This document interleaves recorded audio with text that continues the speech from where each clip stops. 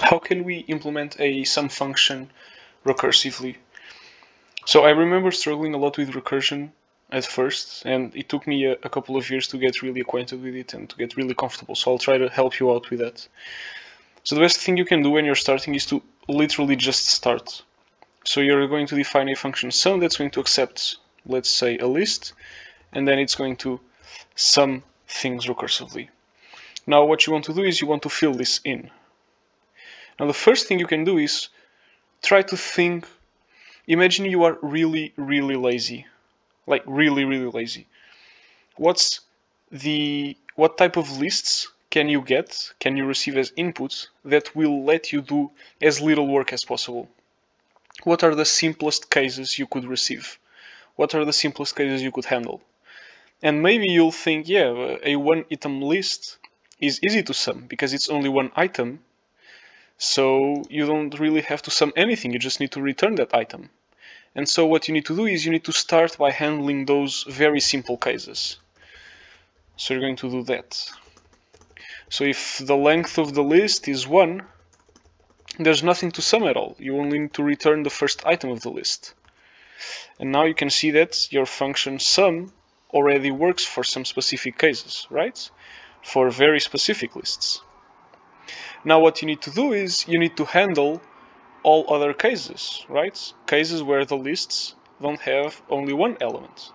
And this is where recursion comes into play. Now what you have to do is you need to figure out how to break the summing of the list into a lot of small steps. And summing a list, for example, summing a list with three elements, how does one sum this list? Well, you take the 42, you sum it to 73, and then you sum it to 0. So the several steps are the plus operations you are going to do. Now what you can think is, well, let's imagine you have a, a friend of yours that also wrote this code and they want to help you. So you can use their code, you can use their sum function, but you can only use it to do most of the work. You can't use your buddy's function to do everything. You must do something yourself. So what's the small action you can do yourself to then take advantage of your friend's function? Well, we saw when we had, I wrote down a list here, maybe this one. What we saw was that, well, the sum of this list, so summing a big list, is the same as taking the first item out and adding the first item by hand to the sum of the rest of the list. And your buddy wrote this function, so you can use this function. So what, what you have to do is you have to take the first item and add it and then use your buddy's function to sum the rest of the list. And so you're going to define your sum function. And then if the list only has one item, you already know that you don't need to do anything. You can just return the first item. Otherwise, what you're going to do is you're going to return the first item that you are adding by hand to the sum of the remainder of the list. And this here is the recursive part because you are calling your own function.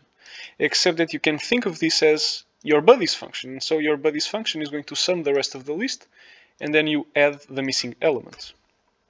And so you can give this a go.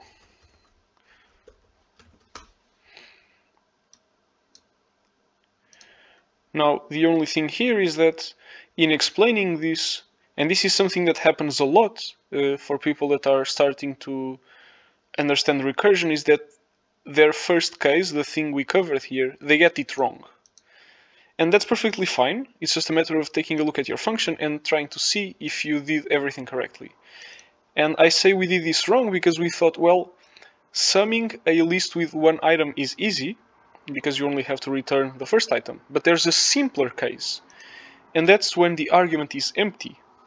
Right now, our function cannot add the empty list. But this should be zero. I'll even, I'll exit Python and I'll open it again because sum is a built-in function and you can see that the sum of the empty list should be zero.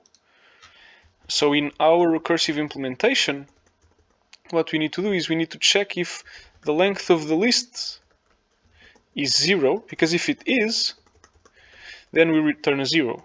Otherwise, we do what we've done before. We add, we take the first item, and we add it by hand to the sum of the remainder of the list. So now this works. And this is a recursive implementation of the sum function.